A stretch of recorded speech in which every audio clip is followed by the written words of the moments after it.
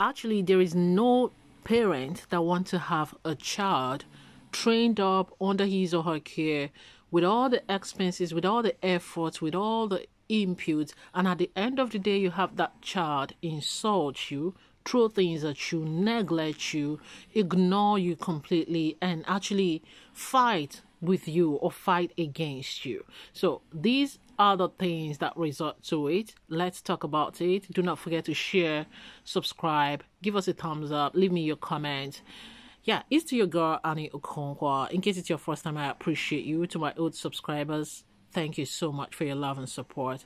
You're awesome. Now, this is where we get it wrong most times. Every parent loves his or her child, or at least 99% actually do. Now, what happens is, how do we end up having kids that are wayward kids or just what you call spoiled kids? Now, this is oftentimes our contribution, our input. You know, we cause these things without really knowing or being fully aware of it. Sometimes we feel it, but we're not sure what to do.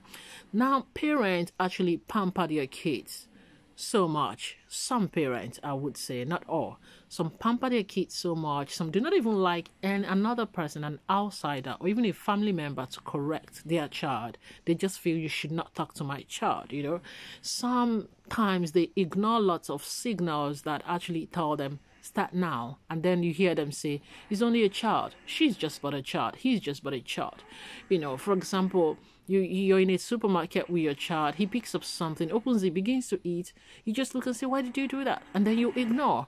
Instead of correcting it at that moment no you don't do that. It's not right. I remember telling my little uh two year old dan no sweetie this is called stealing. Have you paid for it? Mama you don't have money. Yeah but i'm with you. You're with mama said yeah mama but you will pay i said but i haven't paid you pick up something you hold it you pay at the counter before you open it to eat the payment, you having your receipt is the guarantee that it's now yours. If you've just picked their product, you may not eat it. Or the child goes to school, kindergarten, or you know, the, the school and just comes home with something that is not his or hers. You look at it, you ignore and say, Oh, where did you get that? He tells you, and you say nothing. That's when you tell the child, It's wrong. First thing tomorrow morning, you return it. You don't pick what's not yours. It's called stealing. Let him know it's wrong and there is a name for it, and that name is wrong. And you're not a thief. You know, that's how it starts. At that that very early age, do not ignore things. When you give the child something and he says nothing, ask the child, Did you say thank you to daddy? Did you say thank you to mommy? These are the things we ignore a lot and just feel, well, it, I'm the mom, of course. It's his right, it's her right to have from me, to take from me without showing appreciation. It doesn't matter. It does matter. You know why? That character will grow. When you start to say, now he's big enough to understand me, let's start to communicate. It's already too late. He's used to taking without appreciation.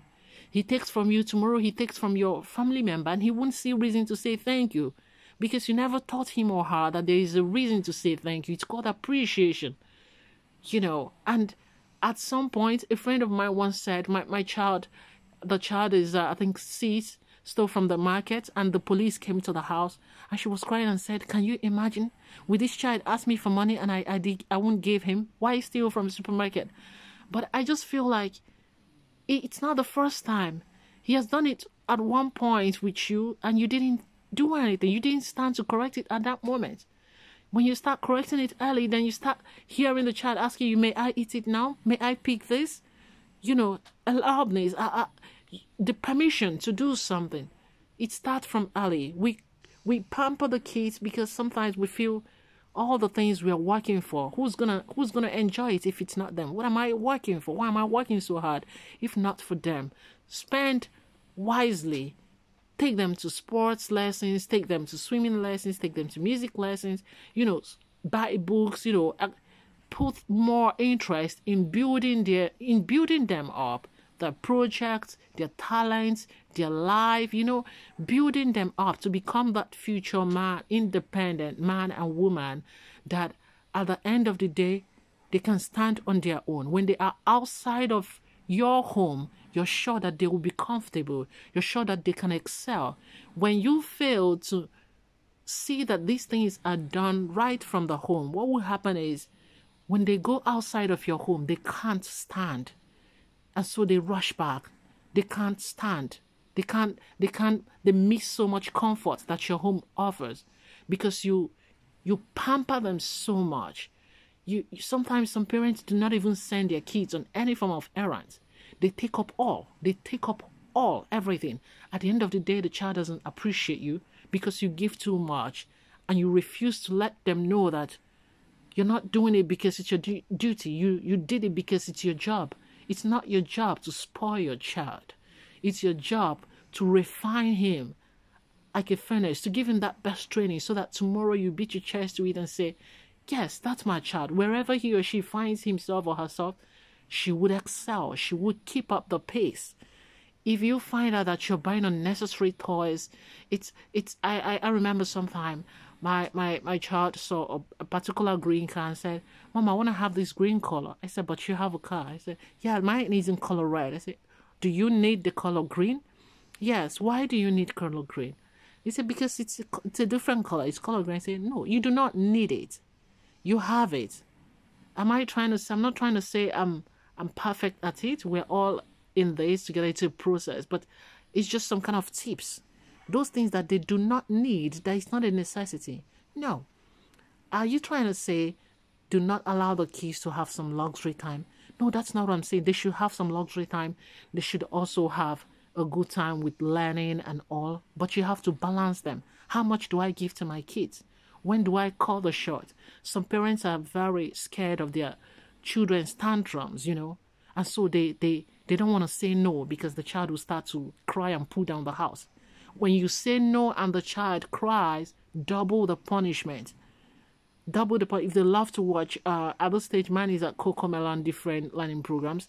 He say, I say no, and perhaps he starts to cry. Say today and tomorrow, no, no CoComelon, and then perhaps he gets to okay, okay, I'm sorry, I'm sorry, mom. Then I will say we have to watch you today. The day is still long, and see if you're going to repeat this. I I read on a post where a mother was complaining how she how did she get it this wrong, the child she has given her all her best ended up throwing things against her. This child is 13 years. She threw her things when she she tried to correct her. She threw things at her, pushed her by the side and walked past. You know, like really fighting her. You have to be an example. You want your child to respect you, respect your parents. Let the child hear you when you speak with your parents if they are still there, or with how you relate to your, your elderly ones. You command respect through because you are their model, their role models. Start it with you. When they do some nice things, say thank you. And then when they, you do and they don't, ask them to say thank you. You must do what's right. Some don't like to correct their kids outside. Have a way to look at them and call them back to order. If they refuse, refuse and ignore your side, you can give them a little pinch on the hand, like hey hey it's it's like a callback okay? Leave me your comment what's the, the, the, the tough situations that you face you face in parenting? What's the where do you think you go wrong? Some just they just can't help it. Thanks